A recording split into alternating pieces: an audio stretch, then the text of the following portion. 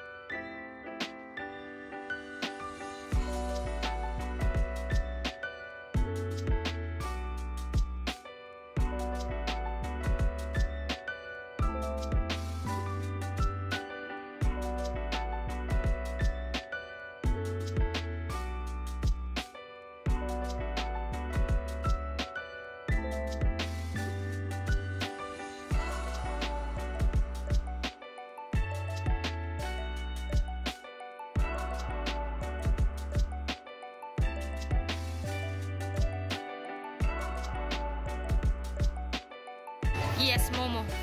What? This one Momo also? Oh, this have what this? Soup? What soup? Sauce. I want this. Mm. Oh.